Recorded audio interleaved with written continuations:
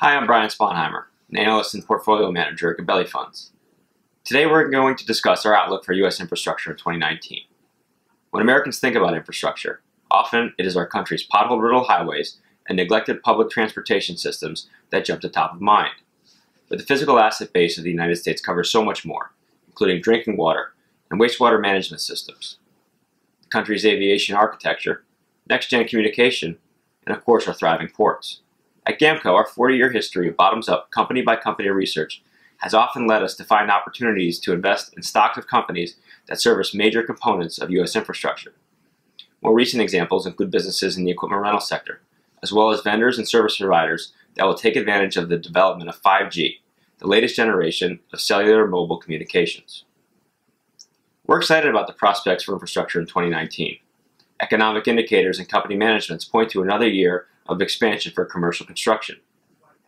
The potential for trade agreements between our government and several major partners potentially opens a door for further business growth and executive confidence. And finally, the need for infrastructure investment remains one of the few truly bipartisan issues in Washington, D.C. Recent stock volatility has pushed the prices of several high-quality companies to valuations we find attractive.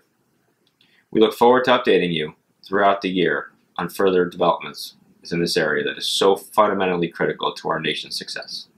Thank you.